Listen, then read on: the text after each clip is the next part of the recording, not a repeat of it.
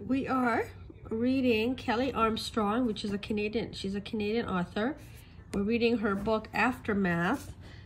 It's about a school shooting, well, the aftermath of the school shooting. So the shooting has stopped, but the threat isn't over. And one of the main characters is has is American, but he's a Muslim, of Muslim, his mom's Muslim so that's something you don't read too much, huh? So that's really interesting. And I'm loving it so far. Highly recommend picking up uh, Kelley Armstrong. I'm so looking forward to Kelley Armstrong's uh, big, no, Someone is Always Watching. That's the next one on my TBR. But this one, I'm absolutely loving it. I think this might be my new uh, favorite author too.